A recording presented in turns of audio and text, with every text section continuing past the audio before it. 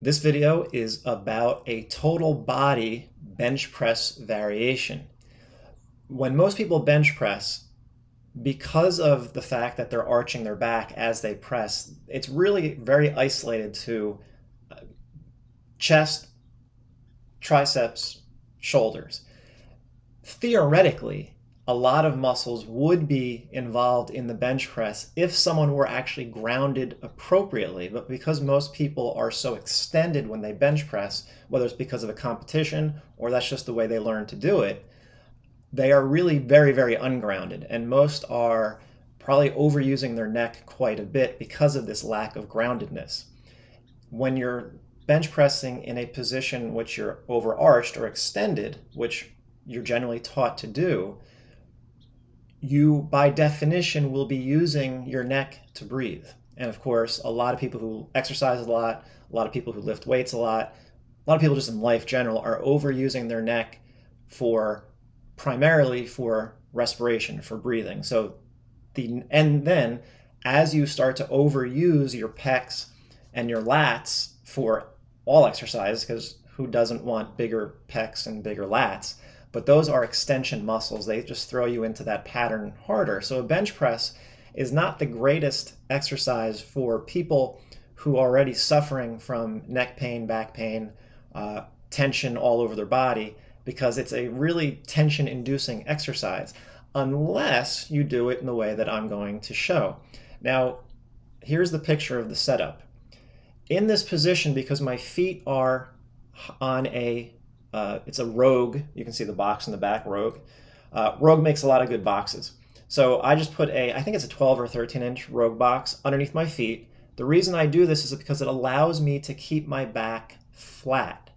It allows me to keep my back out of extension because in this variation, what I want to do to make it a total body bench press rather than just a pecs, just pec, shoulder, and triceps, and lats that are holding you in extension. I want to make it more of a total body bench press.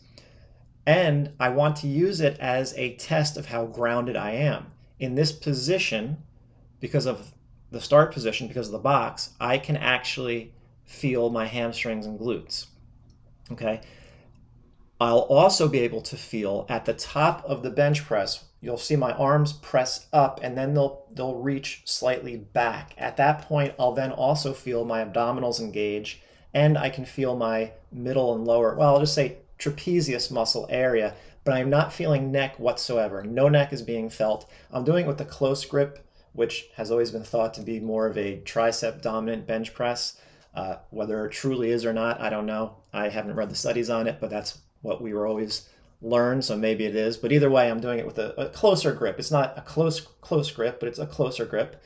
And that's how I'm doing it. And I'm using it as a total body. I would use it as more of a warm up. If you're going to bench heavy, this is something you could do as a warm up. I don't really lift heavy anymore, so this is pretty much the only bench press I do.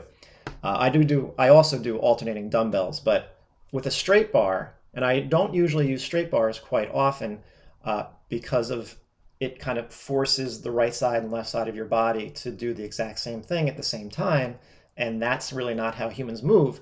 But if you're already neutral and stable, you have a lot of leeway in what you can do because I know I'm not going to go back into the pattern.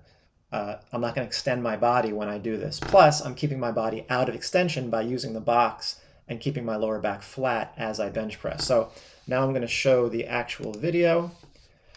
And here we go. So I unrack it. Again, I'm sent, my heels are pushing into the box, so I feel my hamstrings and glutes. And there I move the arms back, and that's when I feel my abs engage. I'm, I'm breathing in through my nose, out through my mouth. I inhale on the way down, and then I exhale on the way up. I'm trying to get the air out, and that's where I feel my abs when I bring my arms back slightly. And that's really all there is to it my scent, my awareness is on my heels and my lower back pressing into the bench and my heels pressing into the box. And so I'm turning this into a total body bench press variation.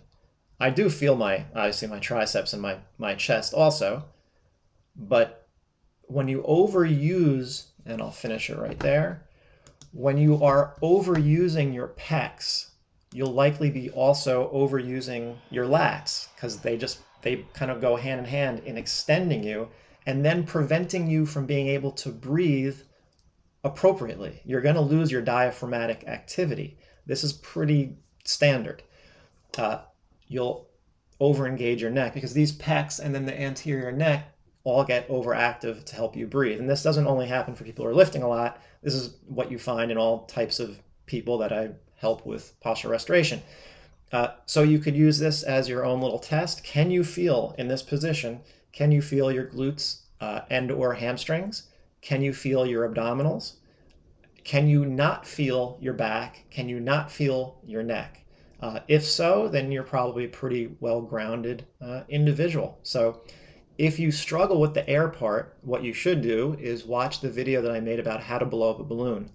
Adding, learning how to blow up a balloon will really help recruit your abdominals to help you get uh, your ribs functioning properly for, for breathing, and that will help ground you better also.